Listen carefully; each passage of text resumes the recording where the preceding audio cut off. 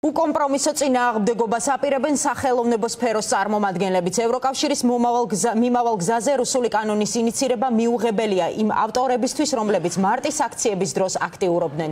ისევ მოგვატყუეს ძალაუფლების შესანარჩუნებლად. ასეთია გამოხმაურებები. წერლების რეჟისორების პოზიცია ლიზა ციციშვილმა მოისმინა გისმენთ ლიზა.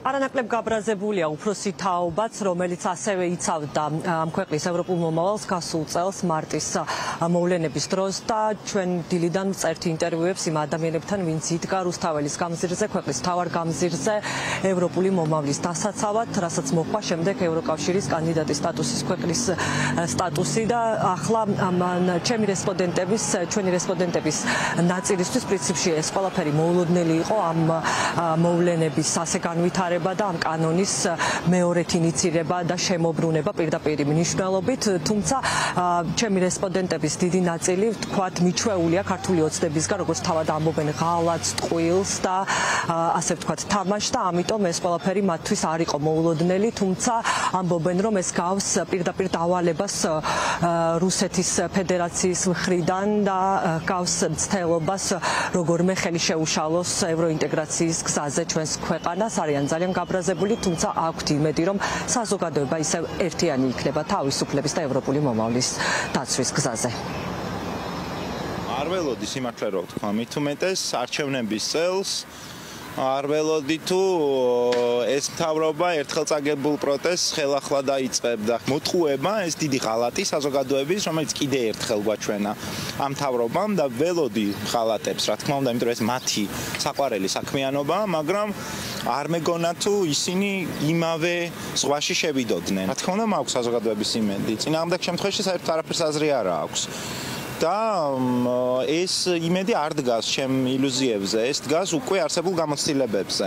მამუკამ დინარაძესთან არაფერი სათქმელი არ მაქვს საერთოდ და არც ერთ ქართული ოცნების წარმომადგენელთან არავითარი სათქმელი არ მაქვს, იმიტომ რომ როცა რაღაცას ამბობ, ამას უნდა კონდეს აზრი და მნიშვნელობა და არავითარი აზრი და მნიშვნელობა არ აქვს ჩემი აზრით ამ ხალხთან ლაპარაკს. რაც მაქვს სათქმელი, ეს არის სათქმელი საზოგადოებასთან რომ იყოს ფხიზლა პირდაპირ ვიტყვი არამზადობა და აი ეს ხოსატყუილობა და თუ რა არარაობებიც არიან ყოველგვარი გადაჭარბების გარეშე ამ ხრივ რა ილუზია უნდა გქონოდა ხო? ეხა მართლაც არის ივანიშვილი თავისთავად წარმოადგენს რაღაცა ტყუილებისა და რაღაცა სიცრუის სიმბოლოა. თავისთავად უკვე რუსული ამბავია ეს. რუსული კანონი ტყუილად ხო არ ქვია იმიტომ რომ ემსგავსები რუსეთს.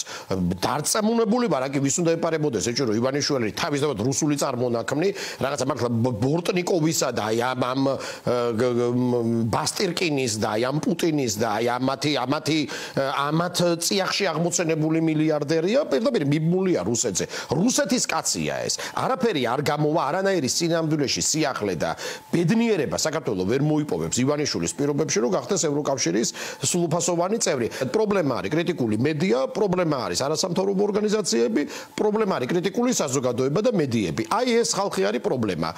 და შესაბამისად უნდათ მათი განდევნა, რეპუტაციული შელახვა, დასუსტება. მიუხედავად იმისა, რომ ქართული ოცნებისგან აღარაფერი აღარ არის ჩემთვის გასაკვირი, მაინც მოულოდნელი იყო ამ კანონის ახლა ესე შემოbrunება, იმიტომ რომ არანაირ ლოგიკას აღარ ექვემდებარება ერთი წლის წინ ძალიან კაფიოდ გამოხატა ქართულმა ხალხმა თავისი პოზიცია ამ კანონთან დაკავშირებით და დამოკიდებულება და რა თქმა უნდა ეს კანონ პროექტი ისევ განიცდის კრახს, მაგრამ რაში ჭირდება ქართულოცნებას ასეთ მოქცევა, მით უმეტეს იმ მომენტში და იმ სიტუაციაში, როდესაც გამჭვირვალობა გამჭვირვალობაზე საუბრობენ და მე პირადად რასაც უკვე ბოლო 10 თვეა პირადად ვეხები, ეს არის კინოცენტრის გამჭვირვალობის საკითხი და კინოცენტრი არის ერთ-ერთი მაგალითი იმის, რომ სახელმწიფო ინსტიტუციები ვისი ვალდებულებაც არის რომ მათი ფინანსური ანგარიშგება იყოს გამჭვირვალე,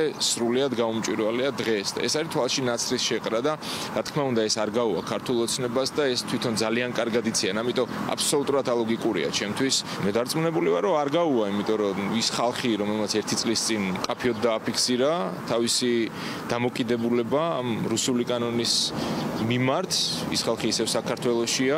ერთ მდინარეში ორჯერ ველს შეხვალდა, ასეთ მდინარეში საერთოდ ვერ შეხვალდა. რა ვიცი, არ ამგონია, იმიტომ რომ რა მიზანი შეიძლება კონდეს ამას ხო რა მიზანია? განცირული არის რა ვიცი კიდევ ერთხელ დათფა და ალბათ რა ვიცი საზოგადოების იმედი გააქვთ მარტის აქცევმა მალია ცალ ცალსახად ცალსახად და სრულად სრულად დარწმუნებული ვარ იმაში რომ ესეთი რაღაცები არ გავიდა და არც ამჯერად გავა.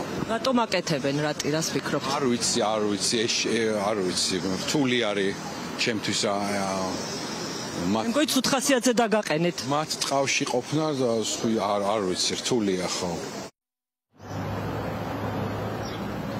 როგორც ჩანს გასული წლის მარტის მოვლენები და მარცხი პირდაპირ რუსთაველის გამზირზე ძალიან მტკივნეული იყო ქართული ოცნებისთვის და ასევე რუსეთისთვისაც და ამიტომაც დაიწყო ხელახალი განხილვა იმ კანონისა და ასე ვთქვათ დაანონსდა რუსული კანონის ხელახლა ინიცირება პარლამენტში.